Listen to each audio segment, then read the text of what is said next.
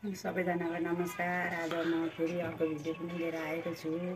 हजुरहरूको माया र सपोर्टले गर्दाखेरि आज हजार सब्सक्राइब पुरा भएको छ। र अझै पनि भन्न चाहन्छु कि यसरी नै लाइक सेयर र सब्सक्राइब गरिदिनु होला। यो प्रकारको लाछाको डिजाइन बनाउनको लागि हामीलाई एउटा सानो चुरा चाहिन्छ। अनि चुरामा हामीले पहिला भिडियोमा देखाएअनुसार नै यसरी हामीले धागो बेटार्नु पर्ने हुन्छ है। हामीले धागो बेटारिसकेपछि भनेको हाम्रो मजाले कम्प्लिट भइसकेको हुन्छ धागो बेटारिसकेपछि हाम्रो अर्को स्टेपमा जानेछौँ। अर्को स्टेपमा चाहिँ हामीले यसमा मोती लाउनु पर्ने हुन्छ है। एकदम सजिलो तरिकाले हामीले सिकाएको छौँ हजुरहरूलाई। किनकि हजुरहरूले पनि बुझ्नुहोस् र बनाउनु घरमै पनि सक्नुहुन्छ भनेर है।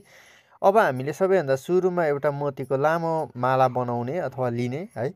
लामो माला लिइसकेपछि अब त्यो मालालाई हामीले यो चाहिँ हाम्रो धागो नअल्झोस् अथवा मोती नझरोस् धागोबाट भनेर यसरी गाँस्ने सुरुमा। अनि उतापट्टि एक एक साइड गाँसिसकेपछि अब हामीले यसलाई अर्कोतिर गाँसिसकेपछि अब हामी यसलाई बाँध्न सुरु गर्छौँ। भिडियोमा देखाएअनुसार नै हामीले पनि यसरी नै बटार्दै जाने एकछिन लगातार बटार्नु भयो भने हाम्रो दामी भइहाल्छ है?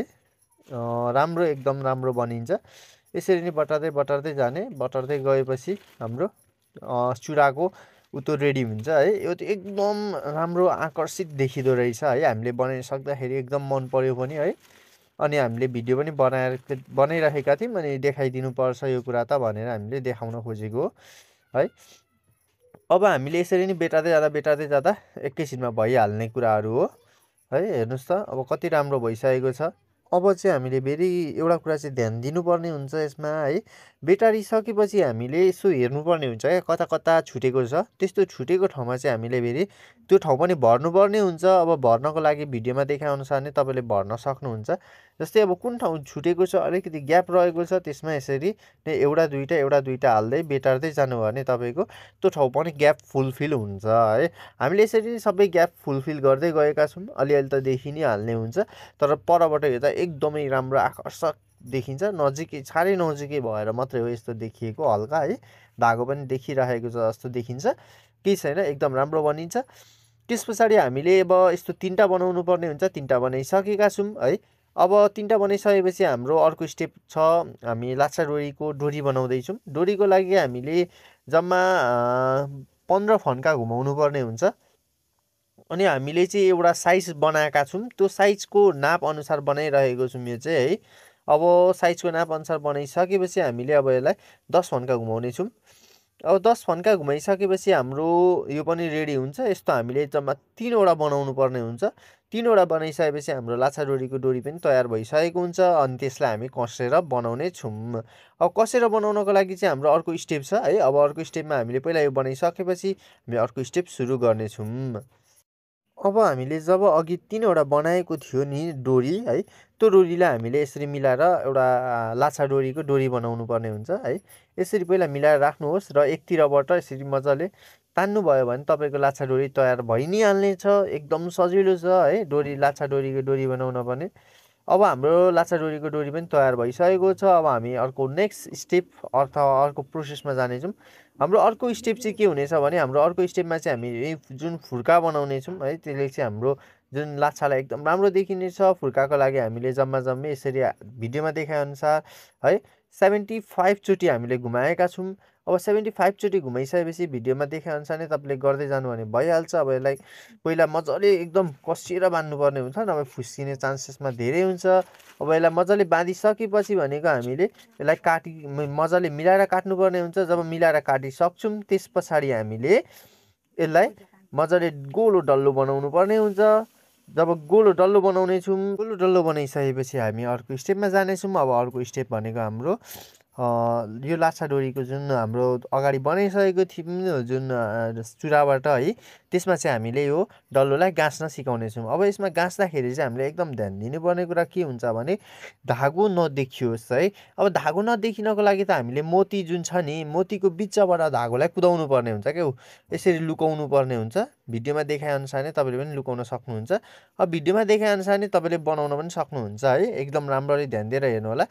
हामीले अब यसलाई मजाले उनिसकेको छौँ उनिसकेपछि हाम्रो यो पनि तयार भइसकेको छ है। अब हामीले यस्तै नि दुईवटा अरू पनि तयार पारेको छौँ हाम्रो अब सबै रेडी भइसकेको छ अब हामी यसलाई यहीँनिर कस्नेछौँ अब हाम्रो लाछा डोरीको जुन अगाडि तिनवटा डोरी बनाएको थियौँ त्यही डोरीमध्ये एउटा डोरीमा हामीले यसरी बाँध्नेछौँ बाँध्दाखेरि चाहिँ एकदम हामीले पछि यसमा पनि मोती लाउनु पर्ने हुन्छ है। मोती लाउनको लागि नै भए पनि हामीले अगाडिदेखि नै कस्दाखेरि अलिकति माथिबाट कसेर यसलाई हामीले बाँध्दै बाँध्दै ल्याउनु पर्ने हुन्छ है। बाँध्दै बाँध्दै लानुपर्ने हुन्छ। त्यो अनि त्यही भागमा चाहिँ हामी फेरि पछि मोती पनि लाउने गर्दछौँ। त्यसले गर्दाखेरि चाहिँ हाम्रो जुन लाछा हुन्छ लाछालाई चाहिँ एकदम एट्र्याक्टिभ अथवा एकदम राम्रो देखाउने गर्दछ सुन्दर देखाउने गर्दछ है। हाम्रो यो बाँधिसकेपछि त हाम्रो धेरै पनि अब छैन धेरै कुराहरू बनाइरहनु पर्ने। हाम्रो अब झुम्का बनाउनु बाँकी छ र झुम्कालाई लगाउनु बाँकी छ। अब कसरी झुम्कालाई यसमा लाउने भन्ने कुराहरू पनि हुन्छ है। अब भिडियोमा देखि हेरिरहनु भयो भने स्किप नगरी हेर्नुभयो भने तपाईँले पुरै बुझ्नुहुनेछ कसरी गरेको छौँ के गरेको छौँ भनेर है। अनि अब त्यस पछाडि हामीले यसरी बनाइसकेपछि हामी अब अर्को स्टेपमा जानेछौँ। अर्को स्टेपमा चाहिँ हामी झुम्का बनाउनेछौँ। झुम्काको लागि हामीले हातको यसरी नै फन्का जम्मा बिस फन्का चाहिनेछ। बिस फन्का लगाएर चाहिँ हामीले एउटा झुम्का तयार पार्नेछौँ। झुम्काको लागि हामीले डोरीलाई यसरी भिडियोमा देखाअनुसार नै गर्नुभयो भने हाम्रो झुम्का तयार हुनेछ त्यस पछाडि हामी एउटा पेनको सहायताले त्यसमा हामी गोल्डन कलरको धागोले हामी बेटार दिनेछौँ। भिडियोमा देखाएअनुसार नै गर्नुभयो भने तपाईँले पनि सक्नुहुन्छ है।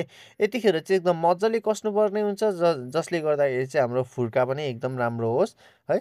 अब हामीले यो फुर्का बनाइसकेपछि भनेको हामीले यसलाई निकाल्नेछौँ र हाम्रो तलको झुम्का जुन हुन्छ त्यो पनि मिलाउनेछौँ है। भिडियोमा देखाएअनुसार नै गर्नुभयो भने हाम्रो उतो पनि तयार भइसकेको छ हाम्रो बनिसक्यो झुम्का। अब झुम्का बनिसकेपछि हामीले भिडियोमा देखाएअनुसार नै हेर्नु है कसरी लाउने भनेर। यसरी बिचको ग्यापिङ जुन हुन्छ त्यो ग्यापिङलाई चाहिँ एकदम मिलाएर लाउनु पर्ने हुन्छ है। अनि अब बिचको जुन तलको भाग जुन नदेखिने अन्डरग्राउन्ड भाग हुन्छ त्यो भागमा चाहिँ हामीले कसिएर गाँठो पारेर बाँध्नुपर्ने हुन्छ है। जसले गर्दाखेरि चाहिँ हाम्रो झुम्का कहाँ बाँधेको छ जस्तो पनि देखिँदैन क्या। अझै राम्रो देखिन्छ क्या त्यसो गरियो भने। अनि सकेसम्म बिलेटले काट्यो भने चाहिँ अझै त्यो भागलाई देखिँदैन है। अब हामीले त्यसरी नै गरिसकेको छौँ अब हामीले बिच्चाको लागि पनि सानो सानो डल्लो बनाइसकेको छौँ डल्लो बनाउने प्रक्रिया देखिसक्नुभएको छ। हामीले यो चाहिँ सानो उयसबाट जम्मा बिस फन्काको बनाएको छौँ है? अब हामीले भिडियोमा देखाएअनुसार नै यसलाई पनि सिउन सक्नुहुन्छ। अब तपाईँहरूलाई लाग्छ होला हामीले माथि त सेतो डल्लो बनाइसक्यौँ अब यो चाहिँ कसरी लाउने? होइन त्यसैको लागि भयो भने तपाईँहरूले भिडियो अन्तिमसम्म हेर्नु होला है। अब हामीले यसलाई मजाले पहिला हामीले डोरीमा यसरी कसेर बनाइसकेपछि अब हामी यसलाई लगाउनेछौँ। यसलाई लगाउँदाखेरि चाहिँ हाम्रो जुन वाइट कलरको डल्लो हुन्छ वाइट कलरको डल्लोलाई हल्का उल्टै पार्नुपर्छ अनि यो जुन हाम्रो धागो हुन्छ धागोलाई चाहिँ नदेखिने हिसाबले अथवा नदेखिने तरिकाले हामीले लाउनु पर्ने हुन्छ है? अब एक साइडबाट भएन होइन? अब यो साइडबाट गर्दाखेरि यसलाई घुमाएर गर्दाखेरि मजाले हुन्छ भने है? अब हामीले यसलाई देखाउनु चाहिँ भएन यो धागो चाहिँ नदेखियो सकेसम्म तपाईँहरूले बनाउँदा पनि त्यसरी नै बनाउनु होला है? त्यस पछाडि हामीले अघि जुन बनाएको थियौँ लाछा डोरी है? अब त्यो भागमा चाहिँ हामी फेरि मोती हाल्नेछौँ है। मोतीको लागि हामीले पहिला त्यहाँ बाँधिसकेको छौँ। अब त्यसलाई त्यस पछाडि हामीले यो मोतीको भागलाई हामी घुमाउँदै जानेछौँ। घुमाउँदै जाँदाखेरि हाम्रो जम्मा चार फन्का घुमाइसकेपछि हाम्रो यो पनि तयार भइहाल्नेछ है। त्यसको लागि हामीले पातलो खालके थ्रेडले हामीले मोतीहरूलाई लगाएको छौँ अथवा बाँधेको छौँ जसले गर्दा हामीलाई बाँध्न सजिलो हुन्छ है। त्यही कारणले गर्दाखेरि यसलाई एकदम पातलो डोरी पातलो हुने कारणले गर्दा एकदम सेन्सिटिभ हुन्छ अथवा भाँचिन्छ टुट्छ भन्ने डर पनि हुन्छ है। एकदम बनाउँदाखेरि होसले बनाउनु होला। यस पछाडि अब हामीले सबै थोक फाइनल भइसकेको छ अब हामी सबै लगाइसकेको छौँ लगाइसक्दाखेरि भनेको हाम्रो यस्तो बनिन्छ है। अहिले अँध्यारो बेलुका बनाएको कारणले गर्दाखेरि हाम्रो भिडियोमा यस्तो आइरहेछ। यतिखेरसम्म तपाईँहरूले भिडियो हेरिदिनु भएकोमा तपाईँहरूलाई एकदमै मनैदेखि धन्यवाद।